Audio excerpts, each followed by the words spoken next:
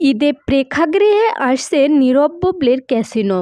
ঈদুল আজহায় প্রেক্ষাগৃহে আসছে নীরব ও বুবলির অভিনীত সিনেমা ক্যাসিনো। সিনেমায় কাজ করা শেষ হওয়ার পর প্রায় তিন বছর পর মুক্তির পথে এই সিনেমাটি। এ সময় এসে ছবিটির মুক্তির ব্যাপারে নির্মাতা সৈকত নাসির বলেন, আমরা একটা ভালো সময়ের জন্য অপেক্ষা করছিলাম। এই ঈদে মুক্তি দিচ্ছি ছবিটি। যদিও শুটিং শেষ করার পরপর ছবিটি মুক্তি পেলে হয়তো ভালো হতো। কিন্তু টানা প্রায় দুই বছর পর কোভিড সহ আরও কিছু সমস্যা ছিল, ফলে মুক্তি দেওয়া যায়নি।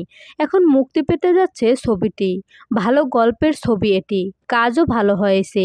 ঈদ উৎসবে দর্শকের কাছে খারাপ লাগবে না ছবিটি।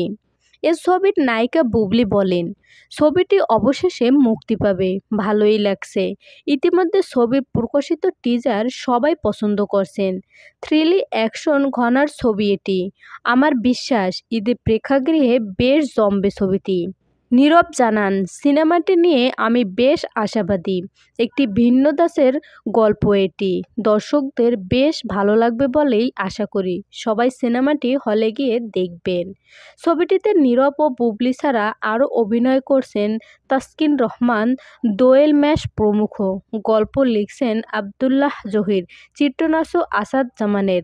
দু হাজার উনিশ সালে ছবিটির শুটিং শুরু হয়, শেষ হয় দু হাজার বিশ সালে।